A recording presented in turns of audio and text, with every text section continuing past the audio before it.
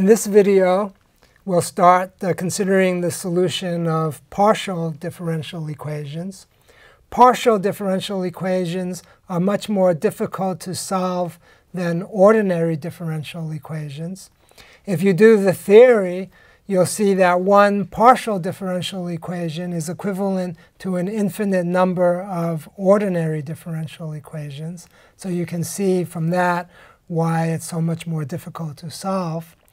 Um, in this course, we're not too interested in the theoretical details of partial differential equations, but we're going to uh, develop two types of numerical methods depending on the type of partial differential that we're going to consider.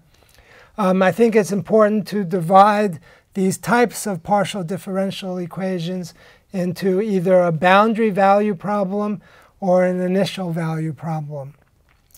The idea of a boundary value problem, say the solution of the Laplace equation, is that you're looking for the solution for a function on a grid in xy space. The grid is fixed. The grid has boundaries, and you specify the value or the derivative of the value of the function or the derivative of the function. In this course, we'll just be specifying the value of the function.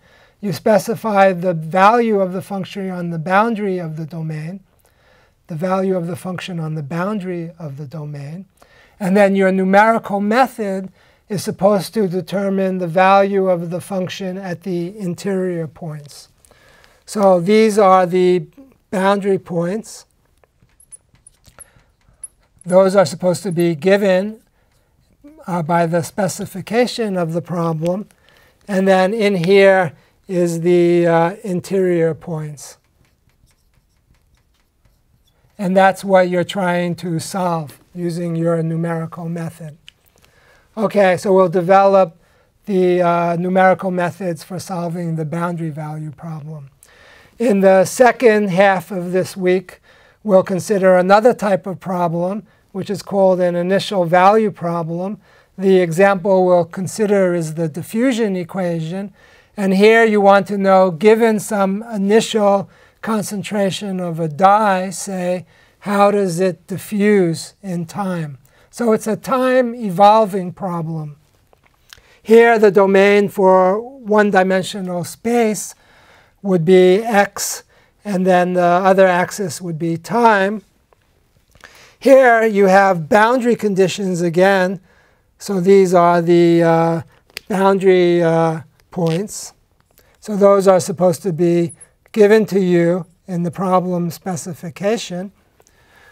But interior to the boundary, this is the boundary and this is the boundary, right? So the smallest value of x, the largest value of x. In addition to the boundaries, you have what are called initial conditions. How is the dye concentration initially distributed. So down at this t equals 0 position, these then are the initial conditions. Okay? The solution of the initial value problem then is to march the initial conditions forward in time. So we're trying to find these what we'd call interior points, but we're finding them one line at a time as the solution moves forward. Okay? So it's a very different type of solution. Here, in the boundary value problem, we're finding all of the interior points at once, right? But in the initial value problem, we're marching the solution forward and first finding the first line, then the second line, and then the third line a different flavor to the problem. We'll learn numerical methods for both of these type of problems. And I think it's useful in the beginning to understand how to distinguish them. I'm Jeff Chasnov. Thanks for watching, and I'll see you in the next video.